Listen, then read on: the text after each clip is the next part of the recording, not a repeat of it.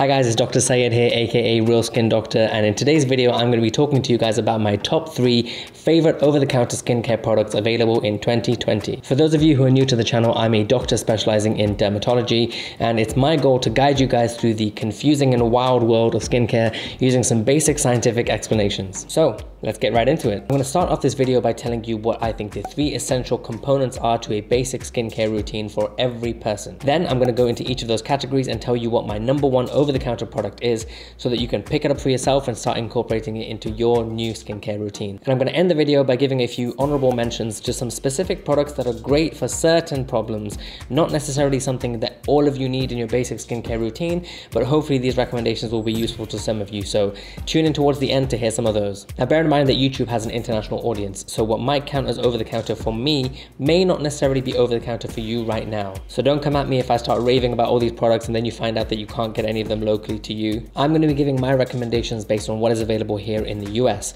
And you know what they say, if you can make it here, you can make it anywhere because baby, I'm from New York, which means these products are likely available right now, wherever you are, or they're going to be available pretty soon. So I think there are three essential components to a basic skincare routine, and that is a moisturizer, a sunscreen, and a retinoid product. Now I can already hear some of you freaking out right now. What about the eye cream? What about the lip balm? What about the gentle facial cleansers? Will somebody please think of the gentle facial cleansers? Yes, a lot of those things do have their own incremental benefits, but I don't think they count as being essential in everybody's basic skincare routine. So I don't want to confuse people by talking about some of these more niche products, and instead I want to talk about what I consider to be compulsory as part of someone's skincare regimen. If you're not doing these, it's kind of like not brushing your teeth or not washing your hair or not getting an enema at least once a week. So the enema thing was a joke in case any of you are freaking out right now, you only need those once a month. Once a week would be overkill. So let's kick things off with the moisturizer. So why is a moisturizer so important? Your skin is basically a barrier to the outside world. It's what defines what is outside of your body from what is inside your body. So for example, this safety pin is outside my body and now this safety pin is inside my body. First, you would say there's boiling hot water outside my body. Now, you would say there's boiling hot water in hindsight, was that necessary? Probably not. But did it help make the point more clearly? Also probably not. So essentially your skin plays a barrier function and it is built up using what we call a brick and mortar system. The bricks in this are called keratinocytes which are basically skin cells and then the mortar is the paste in between that kind of plugs up all the holes and in our bodies that is made up using a series of fats and protein. Not only does this skin barrier help keep out things that may be harmful to the inside of your body, it also helps to keep water inside. So when our skin loses this barrier function, not only do more irritants and allergens come in from the outside world into our skin, but also we lose water from the inside of our skin to the outside world. This combination leads to inflammation, and inflammation is bad news because it causes itchiness, it causes breakouts, and it can also cause darkening of the skin or lightening of the skin once it's resolved. So this is why we all need to be using moisturizers regularly in our day to make sure that our skin has this beautiful barrier function maintained and to avoid inflammation in our skin. So that leads me to this bad boy. And this is my number one recommendation for an over-the-counter moisturizer. The reason why is this tiny is because this is a sample size, so don't worry, you're not gonna buy one in this portion each time. They actually come in these much bigger bottles around about this size, and they're available for around about 10 to $15 at almost any drugstore you can imagine. Now the beautiful thing about CeraVe moisturizing lotion is that it contains ceramides, and ceramides are part of the natural fatty layer that exists in our skin anyway, so what you're doing is helping replenish that with a little bit of reinforcements from the outside. Sunscreen, we have to talk about it. I know you're sick of hearing it. I'm sick of telling people about it because we all kind of know in the back of our minds that we should be wearing sunscreen. But why is it so important? Now, although you can't see UV rays, they are being emitted non-stop from the sun, they are reaching the earth's surface, and they are reaching our skin. Now, once UV rays reach our skin, they damage the DNA in our skin cells, and they also break down collagen and elastic fibers in our skin. These two effects mean that UV exposure causes, number one, skin cancer, Boo! And number two, they also cause photo aging because of the fact that they break down collagen and elastic fibers and it causes your skin to have this wrinkled and sagging appearance much sooner than you otherwise would have had it. So if the fear of skin cancer won't make you reach for that sunscreen bottle, maybe the fear of early wrinkles might. Clouds can only block around about 10 to 20% of UV rays, which means that 80% of it, even on a cloudy day, is still coming through to greet your skin and to have those effects on it. Now there's a lot to be said about sunscreens, the different types that I'm not going to get into right now, but I will in other videos on my channel. For the sake of this video, you're gonna have to just take my word for it that this product is one of the best sunscreens you can ask for. And that is this one right here. I'll bring it close to the screen once again.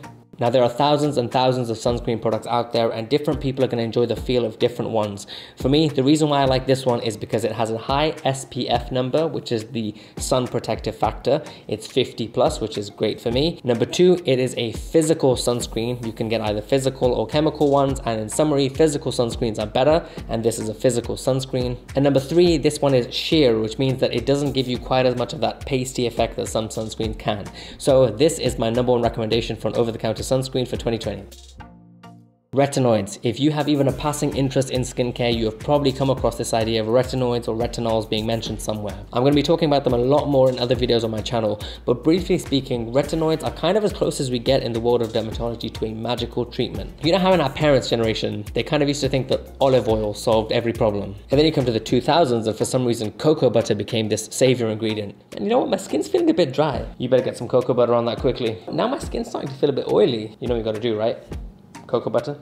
Ah, dude, I've been having this crushing chest pain whenever I woke up here or right here in the middle of my cocoa butter. What are you not getting about this? Well, now we have retinoids, and the difference is retinoids actually have scientific evidence backing up a lot of their claims. So retinoids can help with uneven pigmentation, they can also help with fine lines and wrinkles, and they can even help getting rid of oily skin so that you have less acne breakouts. Now, there are tons of over-the-counter products which have a retinol, which ends in an OL, and this is a slightly weaker version of retinoic acid products. Now, unfortunately, most of the retinoic acid products are prescription only, even to this day. But there's one product which I absolutely love and which used to be prescription only up until a couple of years ago, at which point it became available over the counter. And that is Differin Gel. Differin Gel contains something called adapalene, and adapalene is one of these retinoic acid products. It only costs around 10 to $15 for an amount that will last you well over a month, and I think it's the best value for money and scientifically backed product you can get in the retinoid category. Word of warning, it is pretty strong as a product. When you first start out, you really have to use a tiny, tiny amount for your whole face,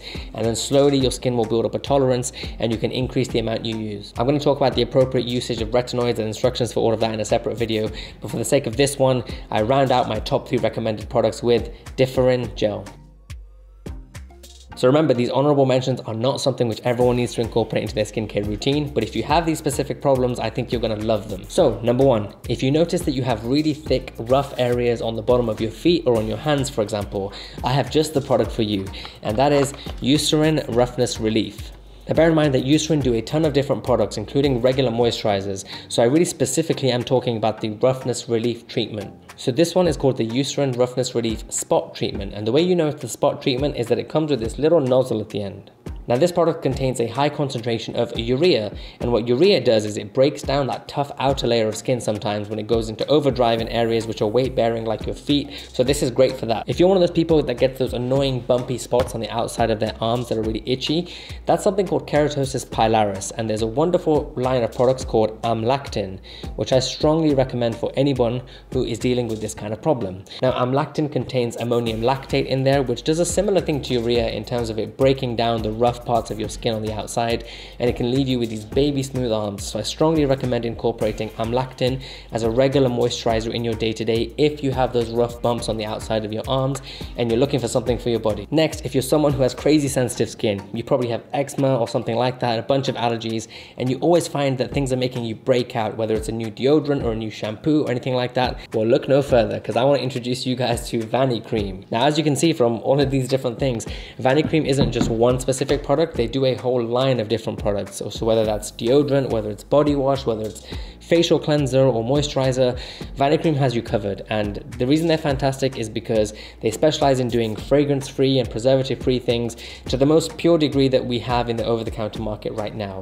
So anytime I have a patient who has sensitive skin, I tell them throw out everything else you have, switch it all to Vanicream, and that's gonna help give me peace of mind that my patient is not aggravating their own skin conditions with something they're using over the counter. And then finally, a product very close to my heart, this is called CeraVe Healing Ointment. And the reason I love this product is because I'm one of those people the second it turns from fall to winter and the indoor heaters come on, my lips get cracked immediately and I constantly have to put something on.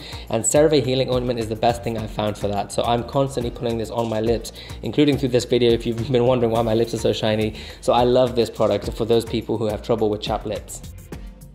So those are my top recommendations for over-the-counter skincare products in 2020. If you guys have tried other products that have ended up becoming essential to your daily skincare routine, comment them below because I always love hearing about these suggestions and then that usually prompts me to go do my own research. Also, if there are specific products you'd like to hear me review, or if you have any questions about skincare or skin conditions on the whole, please comment them below because I would love to be able to use those as ideas for future videos. In case you're wondering, I'm not getting paid by any of these companies at all. These are my honest recommendations. And if any of you guys happen to act upon these and try them, have any good or bad experiences, experiences, do comment them below because I'd love to hear how you guys find these product recommendations. So if you enjoyed the video and you think you'd be interested in more like this, where I take a scientific approach to help explain some of these aspects of skincare to you guys, then I would really, really appreciate it if you not only like the video, but especially subscribe to the channel so that I know that there is an appetite out there for this kind of thing. Also, if you know anyone out there who is a skincare fanatic and you think could benefit from having a bit more of a scientific approach to their skincare regimen, I would appreciate you sharing the channel with them. But with that being said, thank you guys so much for watching the video and I will see you in the next one.